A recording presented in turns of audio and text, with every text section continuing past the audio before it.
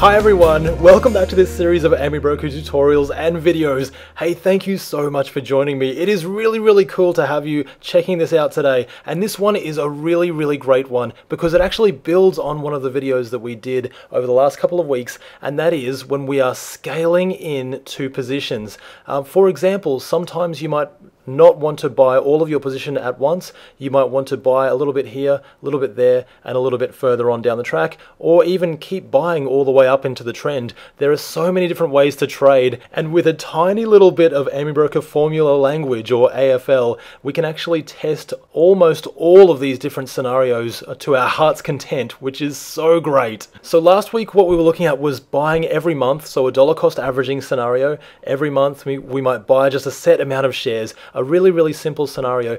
This one, what I want to do is actually buy if our price is above a moving average, so continue to buy. In other words, if it closes above, that would be our first one. If it closes above again, then we'll buy some more. If it closes above again, we'll buy some more. And what we'll do is we'll limit it to three times. So because of all of these different things, it will be a tiny little bit more complex, but I guarantee once you get this, it will be really, really great. And just like me, you'll want to check it out in your own backtesting and even trading. Now, at the end of the video as well, I'm going to show you a little trick with the position sizing. What that means is with pyramiding traditionally, um, the way I was taught at least is that you might buy uh, your position at first, but when you buy your second position, you actually halve your first posi position. Because technically um, and obviously we don't we can't see the future but if we're buying into into the momentum um, then eventually it's actually going to turn around at some point. And so we just want to keep our risk lower. So every time we buy a new position um, we would be halving our position. So I'm going to show you a little trick in how to actually do that as well. What we first do is just go to Analysis, Formula Editor, and the first thing I'm going to do is just to set up our, our moving average. I'll just call it MA1 just to keep it really, really simple. And we've been through moving averages about a hundred times before, so I'm not going to go into it in any great detail.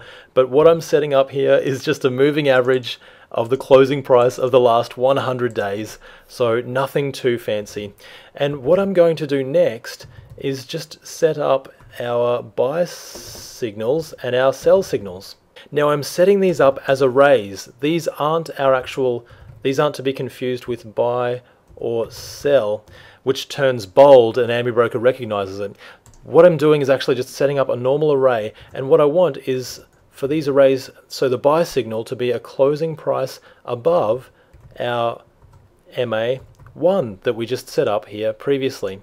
And likewise, a sell signal, I would like it to be a closing price below that moving average that we just set up previously.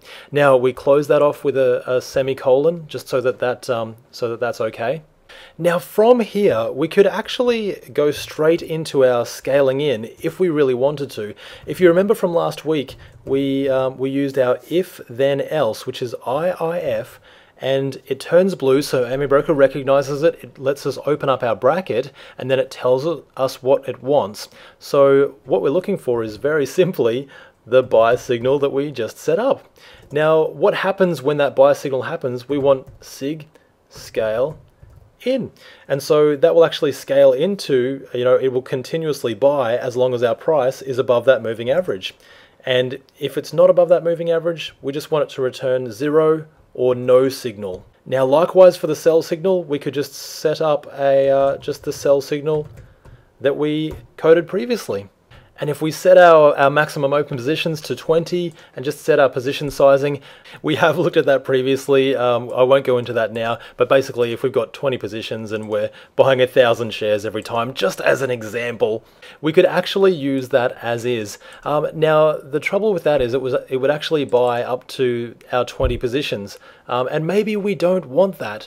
So what happens if we actually want to limit the amount of times that it scales in to that position? This is where we need to just a tiny bit more of AmiBroker formula language. And what I'm going to do is, um, is create a new array and I'm just going to call it X. It's, uh, you know, something very, very simple, really nothing fancy at all. And Here's the thing, I've just upgraded to AmiBroker 6.1 I think. I absolutely love it. There is a whole bunch of stuff in this new version and, um, and I think the work that they are doing there is absolutely fantastic. Um, I strongly recommend that you check it out. But the reason I mention that is because it actually has, um, has brought in a new piece of code called SumSince. Now, don't worry, I'll show you how to do this in earlier versions as well, but SumSince is really, really cool because it simplifies a lot of things. We've got SumSince our, our condition, so what's the condition we're looking for? That is, since the last sell signal. So since the last sell signal, I want to um, add up all of the buy signals which is the array that we just set up previously. So because of that, it will actually add all of the buy signals together, um, you know, after there's been a sell signal, and now we can actually count how many times we, we will have entered above that moving average, and we can stop it whenever we want to. Now, if you are using a previous version of AmiBroker, um, like I was up until very, very recently, we just have to separate it into two little parts, and that's sum, so the sum of buy signal, which is uh, which is what we set up previously, and then the range. So the range, what we're looking for is bars since, oh, bars since, and that turns blue. That lets us open up our bracket. AmiBroker recognizes it, and the bars since our sell signal that we set up as well. So if we just close that off and close that off with another bracket as well, I'll quickly check that.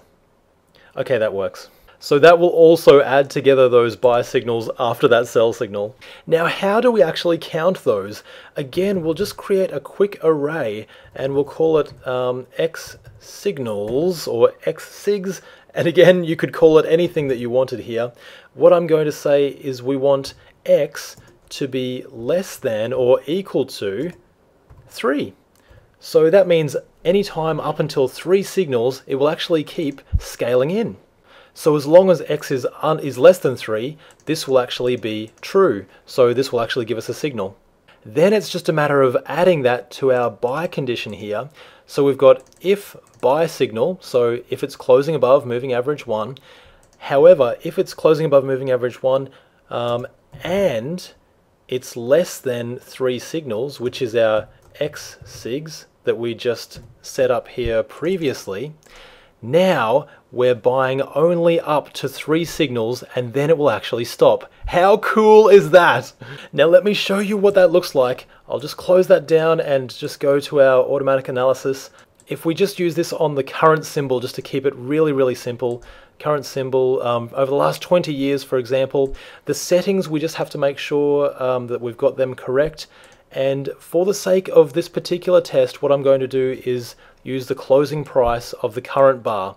Now this is important and I'll tell you why in a second, um, but this is the other really important part. We need to set report to detailed log so that it actually shows our scale in. Now if I click backtest, it will give us all of the different entries um, uh, or signals that it actually takes. Now the reason we set it to detailed trade list was because of this. It has our first signal as a buy, and it buys a thousand shares. Then it has our second signal, which is actually a scale in position. Now, remember how I was telling you that, um, that we can set it to actually halve the position um, to the previous one. So instead of 1,000 shares, it's now 500 shares. Um, in fact, I have it just 500 shares from there on in.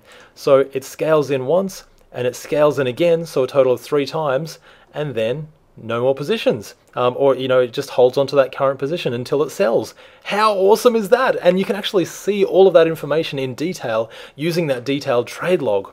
Now I did promise that I would show you how I halved that position size every time, and it's quite easy to do. If you remember how we set up our X is less than or equal to 3. So if we've got 3 or fewer signals, um, then x sigs um, is true.